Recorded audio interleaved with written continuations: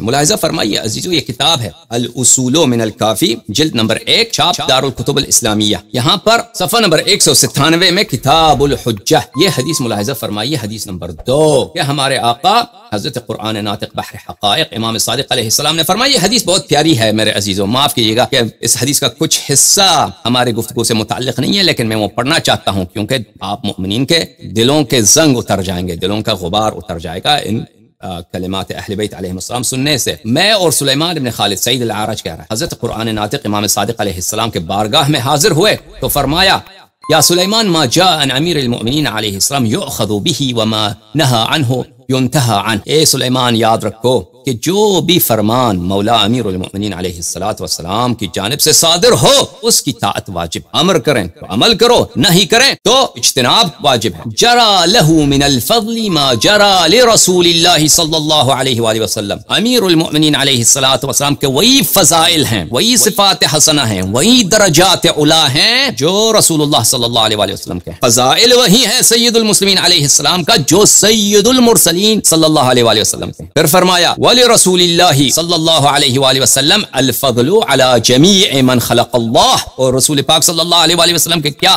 فضائل ہیں؟ فرمایا، ان وہ، ان کا مقام وہ ہے، وہ سب خلائق پہ افضل رسول اللہ صلی اللہ علیہ وآلہ وسلم کے فضائل کا مقام یہ کہ وہ سب ما خلق اللہ پہ افضل۔ اور امیر المؤمنین علیہ الصلوۃ والسلام وہ تمام فضائل، وہ علم و تقوی، وہ قرب الہی، معجزات، کرامات، فصاحت، بلاغت جو رسول پاک صلی اللہ علیہ وآلہ وسلم کو اللہ نے عطا فرمایا ہے، وہ سب امیر المؤمنین علیہ الصلوۃ والسلام کے نفس نفيس من موجود. بر المعيب على أمير المؤمنين عليه السلام في شيء من أحكامه كالمعيب على الله عز وجل.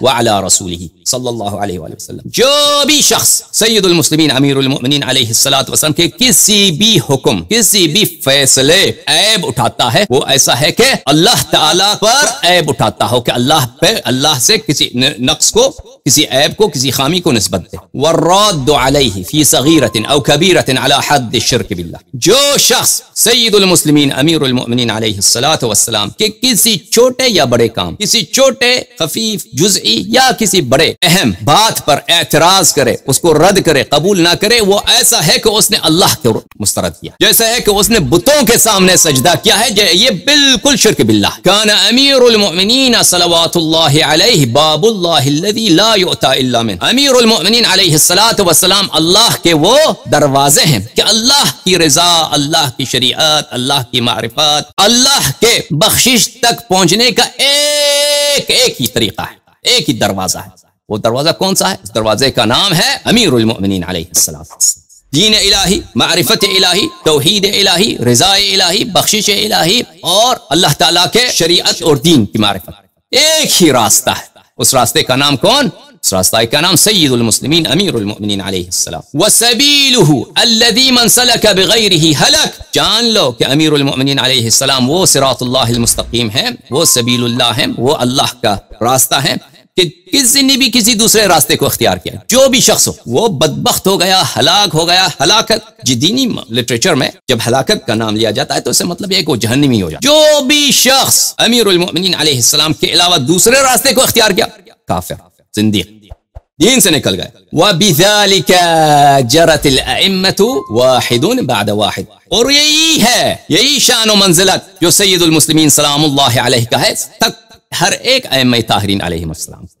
وہی علم، وہی عصمت، وہی شجاعت، وہی جود و سخا جو امیر المؤمنین علیہ السلام کا ہے۔ وہی ہمارے آقا، ہمارے مولا، ہمارے صاحب امام منتظر المہدی علیہ السلام۔ عجل اللہ تعالی، فرجہ الشریف کا ہے۔ سمجھ میں یہ صفات سب ائمہ اطہار علیہ السلام کے لیے ثابت جعلهم اللہ ارکان الارض ان تمید بهم اہل بیت طاہرین علیہ السلام، ائمہ ابرار بارہ امام، وہ حضرات ہیں کہ اللہ تعالی نے ان کو زمین کا زمین کا ستون بنایا۔ کہ ان کی برکت کی وجہ سے زمین ہلاک نہیں ہوتا، زمین نیست و نابود نہیں ہوتا والحجت البالغت علی من فوق الارض ومن تحت الثرى۔ اور سب آسمانوں کی نیچے جتنے لوگ بستے ہیں اور جتنے لوگ زمین پہ بستے گھومتے ہیں، اللہ کی جانب سے حجج بالغہ کون ہے؟ حجت بالغہ بارہ امام ایم طاہرین علیہ السلام۔